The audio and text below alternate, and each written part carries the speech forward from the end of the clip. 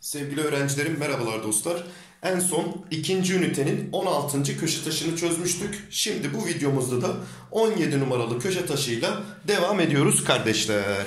Hemen şöyle bir alalım. İkinci ünitemizin 17 numaralı köşe taşının birinci sorusu. Odaklanmayı da ayarlıyorum hemen. Evet hadi bira bismillah diyelim başlayalım. Diyor ki ABC üçgeninde AB kenarıyla işte bakın şu bizim AB kenarımız olsun. AC kenarı bu da AC kenarımız olsun. Bunların ikisinin arasındaki açı 90 derecedir diyor. Diklik işaretini koymuş. Olduğuna göre diyor ABC'nin ABC yani şuradaki açının alabileceği en büyük tam sayı değeri kaç derecedir diye bir soru sormuş bize dostum. E şimdi bu açısı 90 derece. Demek ki şu açıyla bu açıya da toplam kaldı 90 derece. E şimdi bunun en büyük olmasını istiyorsa bunu ben minimum seçmek zorundayım. Ne kadar küçük seçersem bunu ki 1 derece seçerim bunu dostum. O zaman buna da 89 derece kalır. Hepsinin toplamı 180'i de sağlar. Demek ki B açısının alabileceği en büyük değer, en büyük tam sayı değeri daha doğrusu 89'dur dedik. Ve geldik 2 numaralı sorumuza. Evet. Bakalım ne diyor 2 numara? ABC üçgeninde demiş canım kardeşim. 3x, 2x var ve x de bir pozitif tam sayı olduğuna göre ABC dar açılı üçgenmiş. Dar açı demek ne demek? Bütün açıları 90 dereceden küçük olacak demek. Yani 3x denilen adam da 90 dereceden küçük. Hemen 3'e bölüyorum. Yani x küçüktür 30 oldu. Aynı zamanda 2x denilen amca da 90'dan küçük. Yani x küçüktür 45 oldu. Şimdi x küçüktür 45 hükmünü yitirdi. Çünkü burada daha küçüğünü bulduk. x 30'dan da küçük olacak diyor. O yüzden bunun bir hükmü kalmadı. Üst sınır bir belliyken küçük olan alınır her zaman. Bakın büyük sınırlarımız var. Üst sınırdır bu 45 ile 30. İki tane üst sınırım varsa küçük olan hangisi ise onu alırım. Tabii ki 30 daha küçük olduğu için kabulüm budur. Şimdi x 30'dan küçük ve tam sayı olacak. E, en fazla ne olabilir diye soruyorum. 29 olabilir. Peki 3x ne olur bu durumda? x 29 seçilirse e, 3 tane 29 60 27 daha 87 yapar burası. 2 tane 29 da 58 yapar. Peki bu durumda bize de BAC'nin en küçük değerini soruyor. Zaten x'i buradan en büyük seçmemizin sebebi neydi? Buraları ne kadar büyük yaparsam burası o kadar küçük olur diye düşündüm. O yüzden x'i en büyük 29 seçtim. Peki 87 ile 58'in toplamı ne yaptı? Ee, 130, 15 de bunlardan geliyor. 145 yaptı. Üçüncü açımıza da 180 olması için 35 kaldı. Yani alabileceği maksimum değer 35'tir dedik. Cevap Ceyhan'dan çıktı. Evet 3 numaradayız dostlar. Geniş açılı bir üçgenin, şimdi geniş açılı bir üçgen demek bir tane açısı 90 dereceden büyüktür demek. Şu açımız 90'dan büyük olsun. Ne olabilir işte 91, 92 diye sonsuza kadar gidiyor. Ve geniş açılı üçgenlerde geniş açımız olan 3 açı her zaman en büyük açıdır. Yani diğer iki açı mutlaka buradan küçük olmak zorundadır. Hatta 90'dan küçük olacak toplamları. Dolayısıyla en küçük en büyük açımız bu olur. Diyor ki en büyük açının yani şuradaki işte bu açının alabileceği en küçük tam sayı değeri. E 91, 92, 93, 94 diye gidiyordu bu bu şekilde. En küçükleri hangisidir? 91'dir. 91 olur en az diyebiliriz dostlar. Evet canım kardeşim hemen geldik 4 numaralı sorumuza. Bakalım ne diyor? İç açılarının ölçüleri birer tam sayı olan ABC dik üçgeninde. Şimdi bir üçgenimiz var. Fakat hangi açısının dik olduğunu söylememiş. Şimdi şöyle A, B, C diye. Şimdi şu oranı yazmayı artık çok iyi öğrendik. Önceki köşe taşlarından. BAC'ye 7'nin bir katını yazacağız. BAC. Şu açımız 7K olsun. ABC, ABC. Şurası da o zaman 11'in bir katı olacak. Şimdi dostlar bu bir dik üçgen. Ya burası ya burası ya burası 90 derece. 7K 90 derece olsa K dediğimiz açı virgüllü bir sayı olur. Dolayısıyla virgüllü bir sayı olmayacak. Çünkü açıları birer tam sayı olsun demiş. Yani K'yı düşünsene 1.2 buldun. E 11 ile çarpsana 1.2'yi burası virgüllü bir sayı çıkar olmaz. Demek ki burası 90 değil. Aynı sebepten dolayı burası da 90 değil. O halde neresi 90? Mecbur tam bu açımız 90 derece oldu. Şimdi burası 90 ise demek ki şu iki keratanın toplamı da 90 olacak. Yani 11K ile 7K'nın toplamı 18K yaptı canım kardeşim ve bu da 90 olacak. Hemen 18 ile kaçın çarpımı 90'dır diye sordum. 5'in. Demek ki K 5 oldu. Benden A, B, C yani 11K'yı istiyor. 11 çarpı 5 55 yaptı. Cevap Edirne'den geldi. Hemen çevirdim. 18 numaralı köşe taşına geldik can kardeşim. Evet artık üçgende açının asıl orijinal sorularına giriş yapıyoruz. Üniversite sınavında son yıllarda sorulan sorulara benzer sorular çözmeye çalışıyoruz artık dostlarım. Yani bu 18 numaradan sonraki soruların hemen hemen hepsi çok çok daha önemli. Şimdi üniversite sınavında çıkmış bir soruya çok benzeyen bir sorudur arkadaşlar bu şeklimiz. Ne diyor? BA ile BE birbirine eşit. Evet şu kenarla şu kenar birbirine eşittir. Ben de diyorum ki Üçgende açı sorusunda ikiz kenar varsa hemen eşit açılarına aynı harfi yazmak zorundayım. Şimdi şuraya ben bir A açısı dersem bakın bu ikiz kenar üçgenimin taban açıları eşittir kuralından 20 artı A burasıysa buraya da hemen 20 artı A yazdım. Başka ne demiş adam? Demiş ki CA ile yani şurasıyla CD yani şurası da birbirine eşit uzunluktadır demiş. O zaman ben de diyorum ki şuradaki açıyla bu açı da birbirine eşittir. Yani şuraya B dediğim takdirde 20 artı B ya. Burası da 20 artı B olur. Buna göre de BAC yani şuradaki açının tamamının ölçüsü kaç derecedir diye bir soru sormuş. Bakın ortadaki üçgenin iç açılarını toplayıp 180 eşitliyor. Ne var? 20 var, 20 var, 20 var. Yani toplamları 60 var. Bir de A ile B var arkadaşlarım. Eşittir 180. O zaman A artı B'nin 120 olduğunu gördük. Şimdi bize sorulan açıya bakın şuraya. Ne var bunun içinde? A var, B var, 20 var. E A ile B zaten 120. Bir de 20 buradan geldi. Topladık. 140 çıktı sorumuzun cevabı. Hemen 2 numaraya geçtim. Bakın yine ikiz kenarlar var. Eşit açıları AA diyelim hemen. Şunların en küçük ikiz kenarımız burası. A buraya A buraya dedim. Şimdi iki iç açının toplamı üçüncünün dışına eşittir 2A dedim buraya. Ve bakın bununla bu da bir ikiz kenarmış. O zaman burası da 2A. Bu da noktalı açı, bu da noktalı açı. O zaman bu da 2A. Hadi son darbeyi söylüyorum şimdi canım kardeşim. Bak şu A ile şuradaki A ile şuradaki 2A'nın toplamı 3A. Üçüncü olan şu açımın dışına eşit. O zaman burası 3A. E bu da ikiz kenarmış. Şuraya da hemen 3A'yı çaktım. Şimdi dostlar bazılarınız şaşıracak. 2A ile 2A'nın toplamı bir dış açıdır. Buraya 4A yazacak ama dikkat edin. Şu üçüncü açın yani bu üçgenin üçüncü açısının dışı bu değildir. Şunu uzattığında şuranın tamamıdır dışı. Ona dikkat edin. Şimdi şu küçük üçgenden başlayalım soruyu çözmeye. Ne var bunun içinde? 3A, 3A, 2A. Yani topladığında 8A mı yapıyor? 3, 6, 2 daha. 8A eşittir 180 bulduk biz. Buradan hemen 2'ye bölelim. 4A eşittir 90. Bize sorulan yere bakın. AED şu açı soruluyor canım kardeşim. Şu ortadaki açı soruluyor bize. Şimdi şu diğer ikisi 2A, 2A yani 4A yani 90.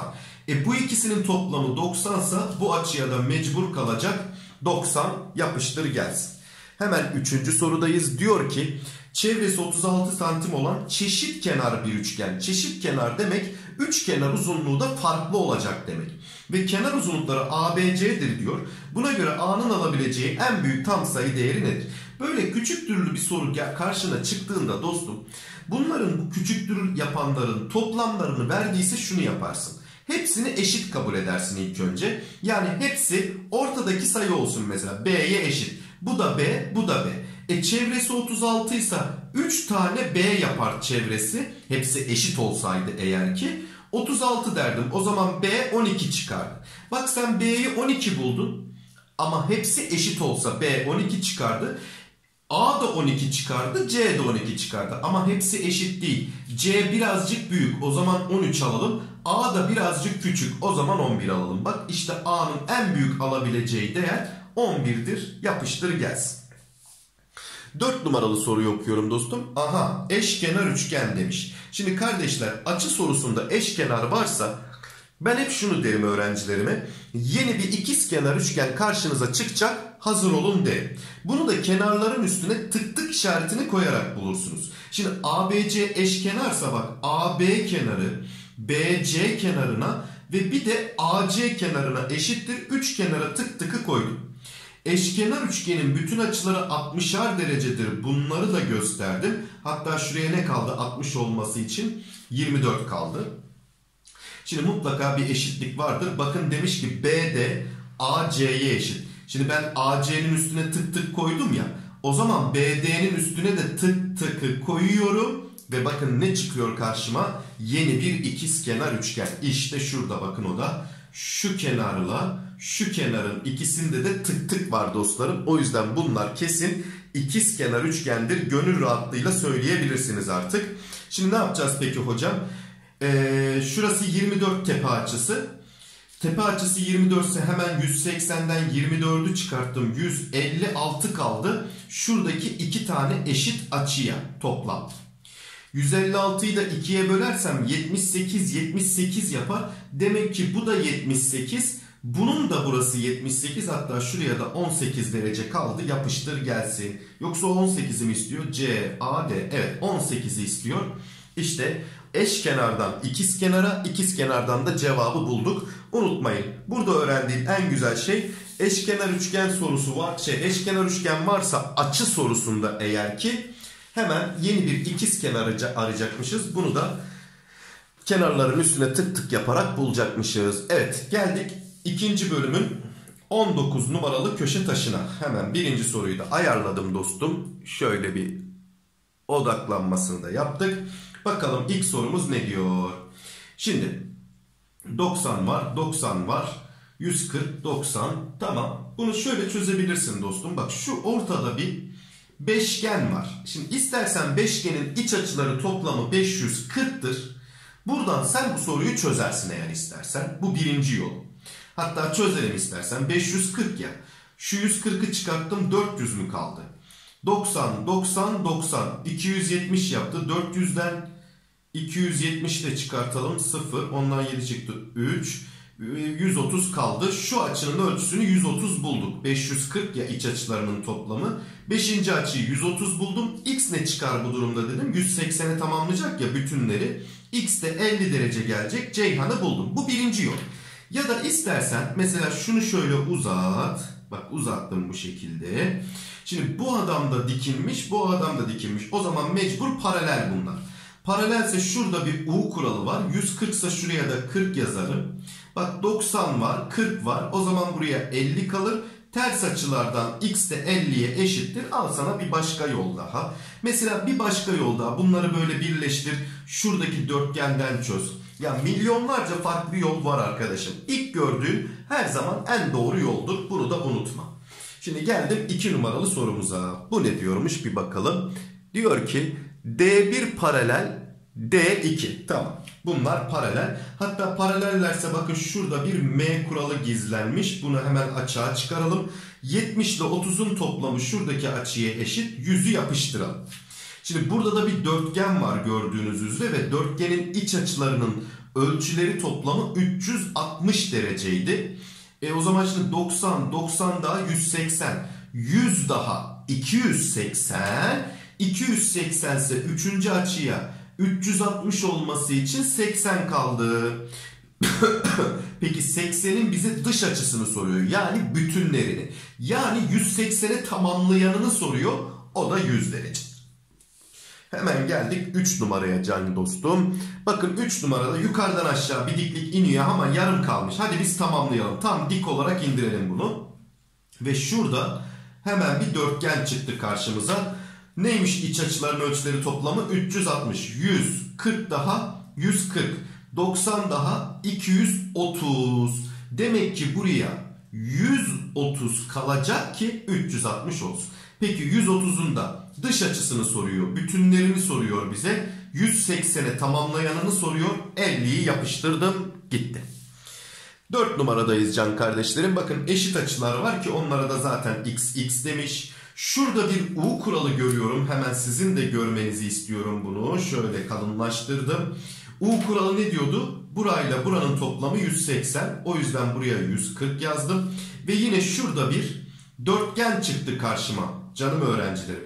Bakın bunun da bu açısına tek nokta koyayım. Bunun da bu açısına hatta içine nokta koyalım. Dış açıları eşitse bu iki açının içleri de eşittir mecburen. Aynı simgeyi koydum. Yani A, A diyelim bunlara da. Peki. Dörtgenin iç açıları toplamını yazıyorum. 2A var. 140 var. Bir de 90 var. 140 ile 90'ı toplarsak e, 230. 2A var. Bir de 230 var. Toplamları 360 yapacak. Demek ki 2A'ya bu durumda ne kaldı? 130. A'ya ne kaldı? 65. Peki A açısı 65 ise bunun bütünleri yani dış açısı yani 180'e tamamlayanı x ne olur? 180 eksi 65'ten 115 yapıştırdık geldi. Evet hemen çevirdim. 20 numaradayız dostlarım. 20 numaralı köşe taşının birinci sorusuna bakıyoruz. Evet yine ikiz kenarlar görüyorum ve eşit açılar görüyorum. Artık buna alıştınız. İlk köşe taşından beri yapıyorum artık. Eşit açılara AA diyorum. Şunlara AA. İkiz kenarsa dostlarım bunlar. O zaman ikiz kenar üçgenin taban açıları eşitti. Yani şu iki açı birbirine eşit olacak. Peki tepesi 40 sa bunlara 70 70 kalmalı ki 140 olsun toplamları. Demek ki burası 70. Burası da 70. E şurası da A varsa buraya da 70 eksi A kaldı derim o zaman. Peki canım öğrencim bana şurayı soruyor. X diyelim buna.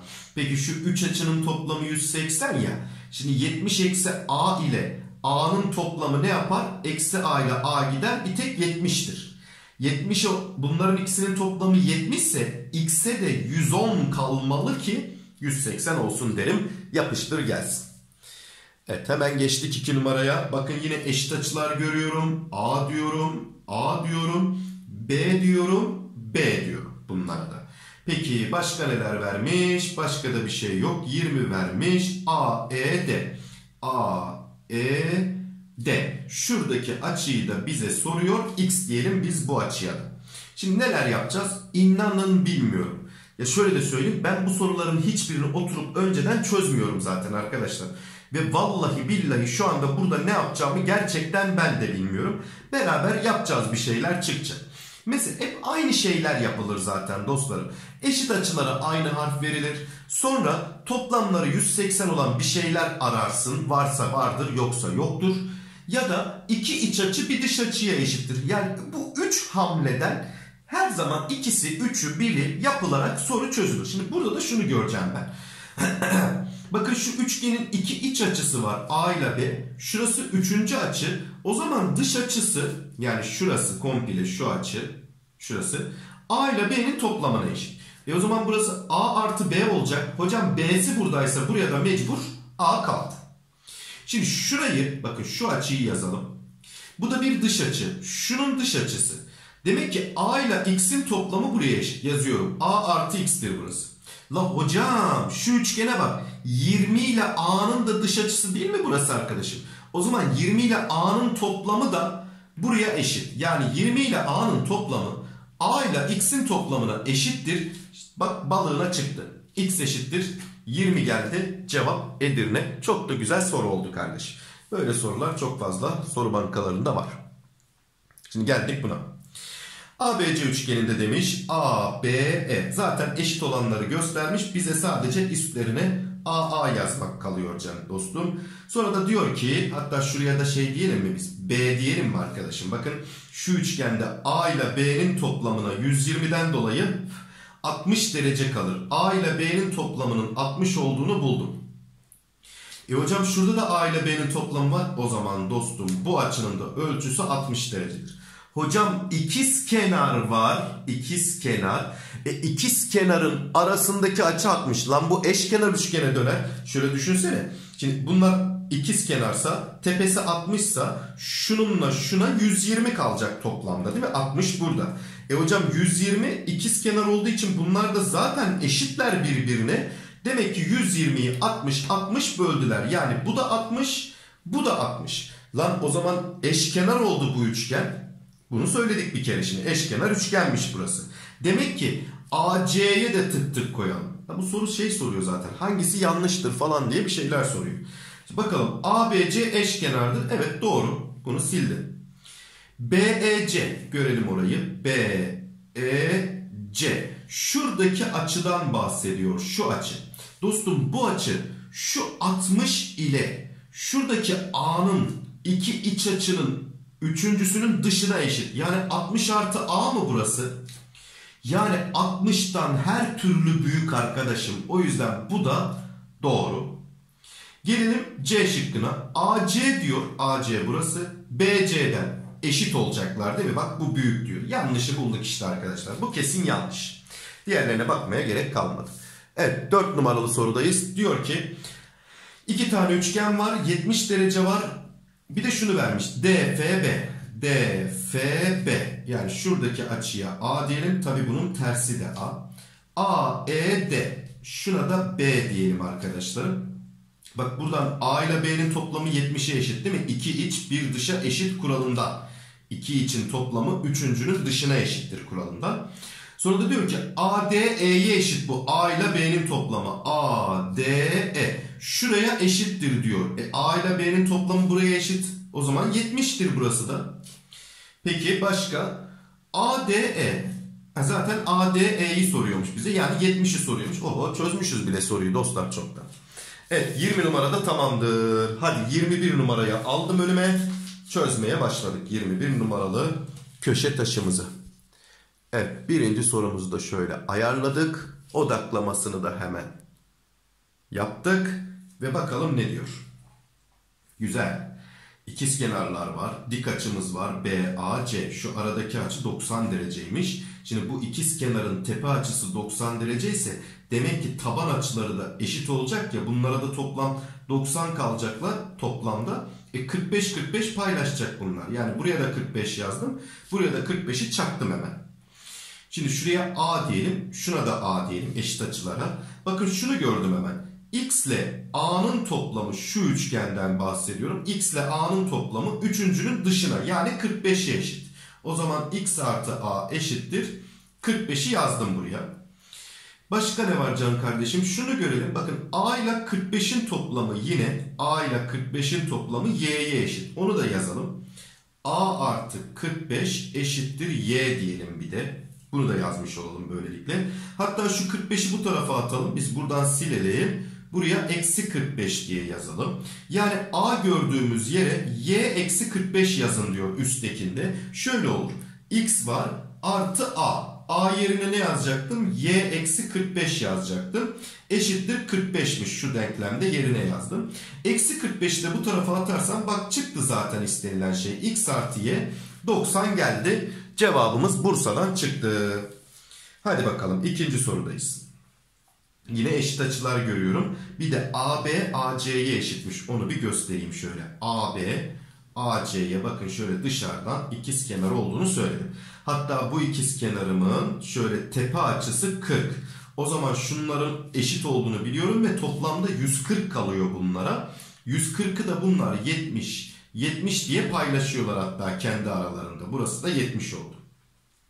Şimdi şu eşit açılara da AA diyelim hatta biz.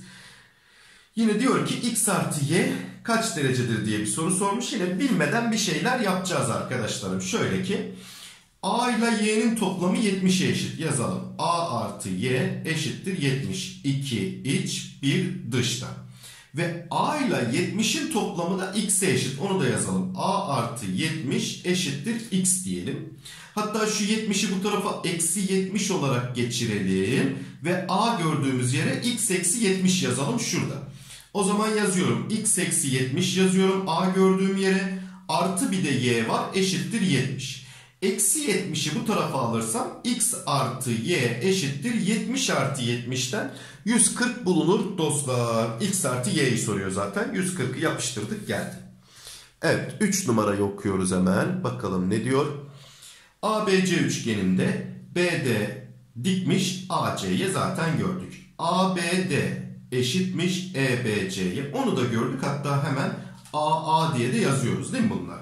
Şurası da 90 dostum. Hatta bakın 90 var 20 var. O zaman şu açının tamamı 70 derece olacak. Yani x artı a eşittir 70. Şurayı da görün bakın. Şu üçgende, şu üçgende iki iç açının toplamı yani 90 ile a'nın toplamı y'ye eşit. Yani üçüncünün şu üçüncü açımız dışına eşit. Yani o da y. Şimdi hemen a'yı yalnız bırakıyorum. 90'ı buradan sildim. Buraya eksi 90 yazdım. Demek ki a yerine y eksi 90 yazarım. Şurada da yazıyorum. x artı y eksi 90 eşittir 70 oldu. Peki x artı y eksi 90 buraya gelirse artı 90 gelir 160 olur. x artı y 160'tır deriz. Dörde geçtim dostum. Bakalım ne diyor. ABC ikizkenar üçgen. AB ile AC eşittir diyor. Eyvallah dedik biz de. X'i gördük. Bak şurada da küçük bir ikizkenar daha var. Eşit açılarına AA diyelim bunun. Şimdi şurası 40 artı A ise hani bunlarda ikiz kenarlar ya o zaman bu da 40 artı A. Şunu gör şimdi canım kardeşim bak şu üçgeni konuşacağım seninle. Yeşilleştiriyorum bu üçgeni senin için. Ve diyorum ki 40 ile şu açı ile şu iki iç açı bunlar. Bunların ikisi de iç açı. Ve iki iç açının toplamı ne yapıyor onların toplamı? 80 artı A yapıyor. Eşittir. Üçüncü açının yani bunun dışına. Dışında ne var? X artı A var. X artı A'ya eşittir. Bak A'ları sildim. X eşittir 80 geldi dostum. Evet 21 numarayı da gömdük. Hemen çevirdik arka tarafını. Ve 22 numaralı köşe taşının birinci sorusundayım. Odaklanmasına da basıyorum ve bira bismillah deyip başlıyorum. ABCD kare. Aha eşkenar üçgen. Ne demiştim sana? Eşkenar üçgeni okuyunca aklına de ki ikizkenar üçgen çıkacak bu soruda. Bilmediğin bir ikizkenar üçgen. Peki nasıl çıkacak hocam? Çok basit. Kenarların üstüne tık tık tık tık tık tık yazarak. Şimdi BCE eşkenarsa eş olduklarını gösterelim kenarlara. E bütün açıları da 60 dereceydi eşkenar üçgenin. Hadi onları da yazalım. Şimdi bir de kareymiş arkadaşlar. Kare varmış. Lan ben karenin bir kenarına tık tık koydum. E karenin bütün kenarları eşit. O zaman buna da buna da hatta şuna da gerekirse tık tık koymalıyım. Aha! İkiz kenar çıktı bak. Bu nokta noktalı üçgen ikiz kenar çıktı dostum. Hatta şurası 30 derecedir değil mi? Çünkü karenin bir iç açısı 90 derece. Buraya 30 kaldı. İkiz kenarsa 30'u çıkartırsam 150 kaldı şu ikisinin toplamına 75 75 diye de bunlara yazdım 75'leri. Bak bu 75'in toplamı 90 olması için 15 yazdım buraya. E hocam karenin bir açısı 90'dı buraya 90 yazdım. 90 15 daha 105 şuraya 75 yazdım. 75'in bütünlerini soruyor. Yani 180'e tamamlayanını soruyor. 105 yazdım. Ben soruya buradan başladım. Şöyle döndüm bulmaca bulmaca buraya kadar geldim. La sen istiyorsan ha burası 60 ya 30 yazarak buradan başla. Yine soruyu çözersin canım kardeşim. İnan bana benim yaptığımın aynısını yapmak zorunda değilsin. Ama şunu mutlaka bulacaksın. Burada bir ikiz kenarı göreceksin. Hadi 2'yi okuyalım. Aha bak yine eşkenar üçgen yazıyor. O zaman artık sen ne yapacağını çok iyi biliyorsun. Hangisiymiş eşkenar? ADE. Demek ki ben bütün kenarlarına tık tık tık tık tık tıkı koyacağım. Hatta 60'larını da yazacağım. Yazalım. Bunu da yazalım. Hatta karenin bir açısı 90 derecedir. Onu da yazalım dostlar da. Şimdiden yazmış olalım. Hatta bakın karenin bir kenarına tık tık koyduysam diğer dört kenarına da üç kenarına da koyacağım. Ve ne demiştim? Eşkenar varsa açı sorusunda yeni bir ikiz kenara hazır ol. Aha da çıktı bak. Burada bir ikiz kenar çıktı. Şimdi unutmayın şuranın tamamı da 60 derece. Peki burası ne oldu? 90 ile 60'ın toplamı 150. O zaman şu eşit açılara şununla şuna ne kaldı? 30 kaldı toplam. 15 oldu burası. 15 oldu burası. Peki burası toplamda 60'tı ya. 15'i buradaysa x'e ne kalmalı? 45 kalmalı. Arkadaşlar bu sorular çok güzel sorular bu arada haberiniz olsun ha. Kitaba sakın kolay demeyin. İlk bir, birkaç köşe taşımız tabii ki kolay. Hatta ne dedim? Birinci, ikinci, üçüncü köşe taşı sınavda kesinlikle sorulmayacak dedim. Ama sonraki sorularımız çok güzel. Bunları şimdi bir de yeni nesile uyarlayan sorularımız da çıkacak karşımıza. Onları da göreceğiz inşallah. Bunların yeni nesilleri işte yeni nesil sorular bu klasik soruların aynısı oluyor dostlarım. Bunları biraz daha renklendiriyorlar. Al sana yeni nesil soru. Şimdi yine kare. Bakın bu sefer iki tane eşkenar üçgen var. A, D, E. A, D, E. O zaman hemen buna tık tık. Tık tık. Karenin bir kenarına da tık tık. O zaman bütün karenin kenarlarına tık tık. DFC de eşkenarmış. DFC. Bir kenarına tık tık koyduysam diğer ikisine de tık tık koyarım. Ve bak şurada bir ikizkenar çıktı gördün mü? Bak şurası. O zaman şuraya ben bir kere eşkenarların açılarına 60'ları yazalım. Şu 60. Şimdi bu da eşkenardı. Buna da 60 yazalım. Şu araya da 30 kaldı. Bunu yazalım.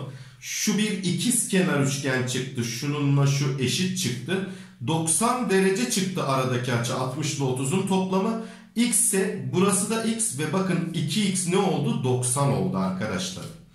90 burasıysa bunlara da 90 kaldı. Tabii ki X de ne çıktı bu durumda? 45 derece çıktı. Evet. Son sorumuzdayız arkadaşlar. Dördüncü sorumuz. ABCD kare. Bakın şurada bir ikiz kenar var. X kaç derecedir diye soruyor. Şimdi karenin bir kenarına tık tık koyduysam hemen buna da buna da buna da koydum ve bakın şurada da bir ikiz kenar çıktı. Şimdi 40 ise burası. Buraya 50'yi yazdım. İkiz kenar olmasından sebep buraya da x dedim hemen. Ve 50 buradaysa 2x'e ne kalıyor 180 olması için? 130. Hemen 2'ye böldüm. 65 çıktı. X dediğimiz açı. Evet arkadaşlarım 22 numaralı köşe taşımızı da gömmüş olduk. Ee, bayağı bir 6 tane köşe taşı çözdük bu videomuzda. Şimdi burada duralım. Bir sonraki videomuzda da kalanlarla devam edeceğiz inşallah. Haydi bakalım öpüyorum hepinize. Kendinize çok iyi bakın. Görüşmek üzere dostlar.